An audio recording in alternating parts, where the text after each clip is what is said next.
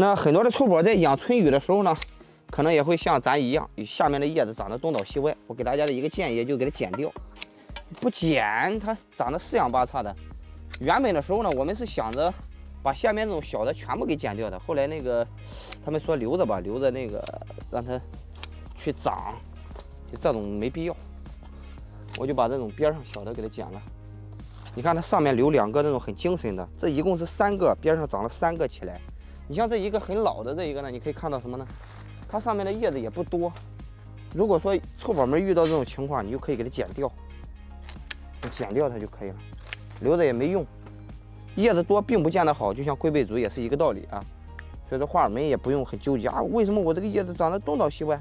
你可以剪掉，然后呢，往这个里面追上一些肥料。给它补充到一定足够的营养，它再长出来就会强壮许多了。所以说呢，你要记住，病树前头万木春，是吧？反正就这个意思，旧的不去，新的不来，一定要这个意思就懂了。要不说就点个关注，这一篇关于春雨的一些个小技巧。